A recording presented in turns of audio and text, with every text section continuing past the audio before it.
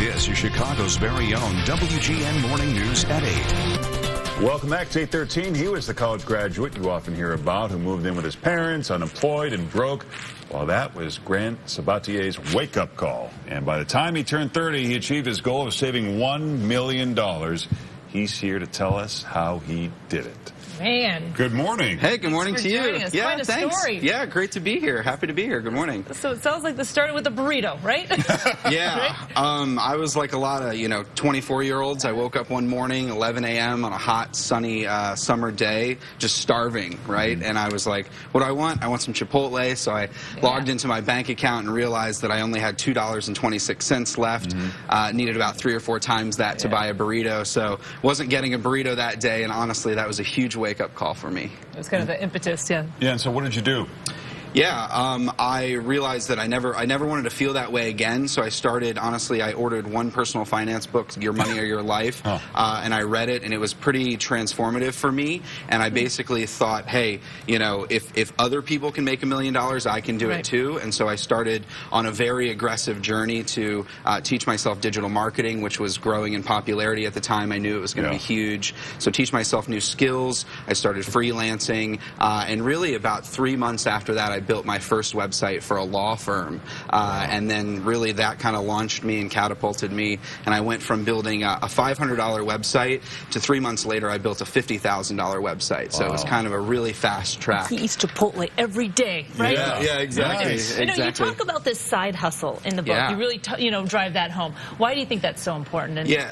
Kind of tell us Um, a that. lot of people, it's it's pretty hard to get ahead making forty or fifty thousand dollars a year when you do the math. Even saving Mm-hmm. 10, 15 percent, it just you, you know you're going to have to work 35, 40 years to save up enough money to, to maybe retire. And so side hustling, it's really about diversifying your income streams. And I'm a huge proponent of creating as many income streams as possible, Mm-hmm. but side hustling to invest, right? So you don't side hustle, you don't say dri you know become an Uber driver, a babysit, or start a dog walking company, and then just spend that money in your own life. Yeah. Put all of that money in an investment account, especially when you're young, because the compounding effect of that dollar over time, every dollar that I put in when I started saving is worth three dollars now.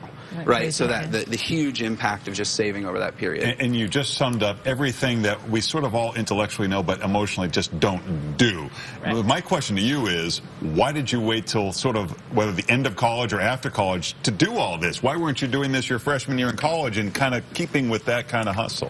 Yeah, um, so I really just wasn't taught how to do this, right? so they don't have classes in college. I didn't Right. learn this in high school. You know, you get out of college, the first job that I got, I made forty-two thousand dollars, and you go from making nothing to forty-two thousand dollars, and you're like, I'm living the life, right? You go out and you Yeah. just you, you spend it all, um, and then you quickly realize a few years in, hey, uh, this working thing maybe isn't all that it's cut out to be. I don't think that maybe I can do this for a few more years, but I don't know if I can do this for 35 more years. So that was the huge wake-up call for me. Um, and then I'm just really representative of the digital nomad lifestyle, right? So the fact is, today the barrier to entry to launch a company online has it's never been easier, right? To start a side hustle to make money, you know, you can Sure. freelance in a ton of different ways, and so I really took that and used that to my advantage, and I encourage other people to do as well. Very cool. That's cool great. story. Well, Grant, uh, thanks very much. Uh, save and invest. Save and invest. Right. invest. Yep, as much as you can. And I Thank like you. your blog. You kind of you chronicle your success, but also your mistakes along the way, which is kind of cool. And you can get more tips from